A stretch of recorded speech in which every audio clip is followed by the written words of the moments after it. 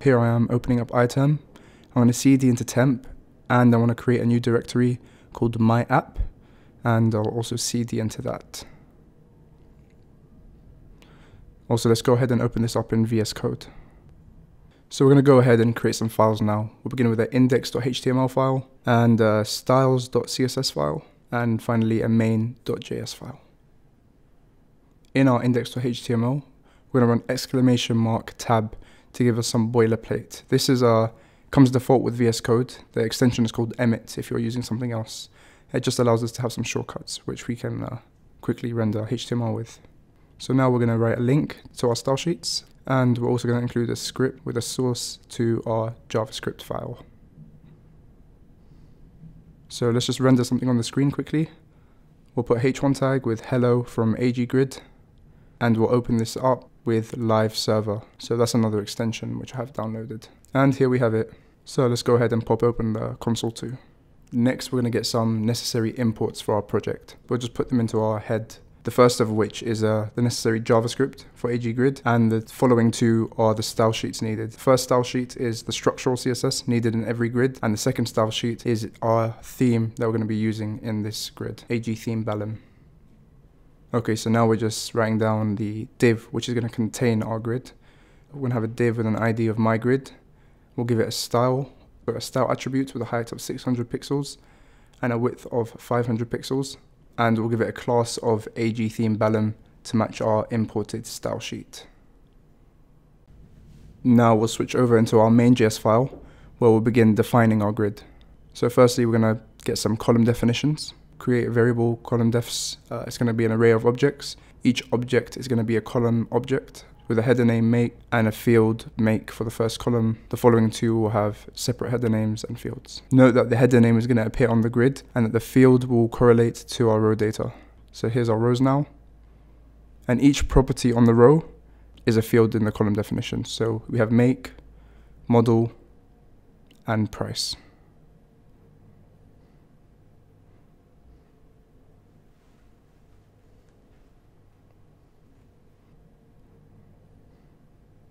So now we're going to define our grid options, which will be an object, and we'll set our properties, column definitions to be a reference to our column defs, and row data to do the same. So next we'll use the browser's API to get a reference to our grid container. We'll use document.querySelector and pass in the ID of our grid.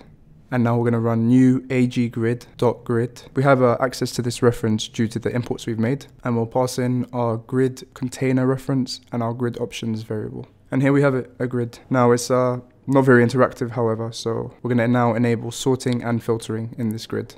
So let's go ahead and open up our code editor. So we're going to set two flags on each column, sortable to be true and filter to be true. This is the most basic configuration. And if we take a look at our grid now, we can sort by clicking on the headers, ascending, descending, and no sort. We can hold down shift to do uh, sort by more than one column. And we can click on the hamburger to see our filter menu. And here we have contains and not contains. There's more filters, but this is the most basic. Now let's dynamically fetch our rows instead of hard coding them. So I'm just commenting out our row data. And the AG grid namespace actually has a method called simple HTTP requests, which allows us to do fetching. It takes an object, uh, with a parameter URL and it's going to return a promise with our row data. Now when we passed in our grid options to the aggrid.grid method, our grid options was actually enriched and gave us access to the grid's API. So we can use this now to set grid options.api.set row and uh, that's going to now set dynamically set our rows. We'll also enable row selection by setting uh, row selection in our grid options to be a string that says multiple. And if we look on our grid now, selecting a, clicking on a row will select it. We can hold down command to select multiple rows, or we can hold down shift to select a range of rows. Now we're going to dynamically get our selected rows. So we'll put in a button with a click listener that fires an event get selected rows. And in our main.js file, we'll define this function. Now, because we already have access to the grids API, this is quite simple. We can just set a variable selected nodes equal to grid options.api.get selected nodes. So yeah, we're just going to run get selected nodes. we'll map over these nodes to get our selected data, and we'll map once more to get a new array which will join and present onto the screen as selected data string presentation. So we're just going to specify the make of each car and the model, including a space. Also remembering to use the var keyword. Lastly, we'll alert this to the screen. So let's go ahead and give that a whiz. We'll select a range of nodes and here we have them. Okay, so next we're going to enable the enterprise of AG Grid so that we can do some grouping. But before we do that, we're actually going to change our row data endpoint just to give us more rows. So let's just clean that up. And as you can see, we've got many more rows loaded into the grid now. So now we're going to go ahead and going to replace our first uh, our line on line 10 with this. This is going to give us access to the enterprise features in the grid. So now as you can see, we have access to this context menu, which is fully customizable. You can see it on our documentation. Here we have the updated column menu. Uh, there's the new set filters. Notice how here on the right we have an error. Uh, this is just because we haven't set a license for our grid, but everything else will be fully functional.